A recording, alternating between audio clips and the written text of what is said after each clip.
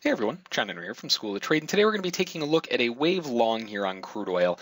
Uh, so first target's going to be up at 54.30, second target's going to be at 54.40, and actually the way that this is setting up, I'm going to leave that as the final target as well. So 54.40 um, is, kind of the final area. Holy crap, that went fast. Uh, let's see if they can hit that 44. Yeah, jeez.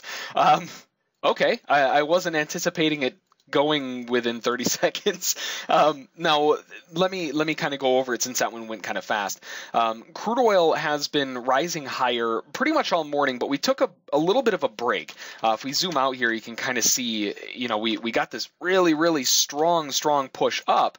And since then, just kind of faded off and, you know, it made these nice two legs back. And looks like they kind of got a little bit of a fake break low and then reversed back up. Uh, that first pullback above the EMA, that wasn't really that good. That wasn't that big of a pullback.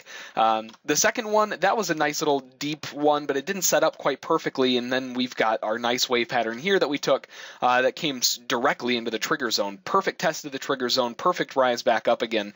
Um, I, I wasn't anticipating this kind of move. Now, normally when we look at our entry here, if we zoom in, um, our entry was right here, and when we're looking at our entry to our target, when it's that close, we never want to use that first target. I'm not super interested in a two tick target, right? Um, so I'm going to look a little bit bigger. So that's kind of be my next area uh, above it, which in this case is 54.31. Uh, now the reason normally when we do that is I'm looking for a larger target up to 54.66. The problem is today is crude oil inventory days, and when it's inventory days, you typically don't get these big pushes through the highs with continuation. Um, it, it usually just ends up being a little bit more rotational. You get these pushes through the high, and then you fade back you get a push through the high and they'll probably fade back. So I'm not anticipating a huge move off of those highs. Uh, and because of that, I wanted to get out at 54.39 just ahead of that. So our entry to our first target, which happened so fast you didn't even really see it, but uh, that was 12 ticks. Second target up here, up to 39, that gives us 18. So because I took two off and two off, that gives us 24 and then another 36 for 60 ticks on the trade. Uh, I don't know about you, but 600 bucks for 30 seconds of work. I'm not, I'm not too upset about that.